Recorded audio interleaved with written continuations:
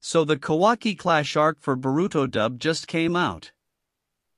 The arc will come out on January 10, 2023 with 20 episodes with episodes from 190 to 210. For anyone wondering where I get this and how do you know it's real? I get my information from the Viz Media website that dubs Boruto. I will leave the link in the description if you want to check it out. Well that's all for this video, I just unlocked the community tab so come check it out and feel free to comment on how I can do better.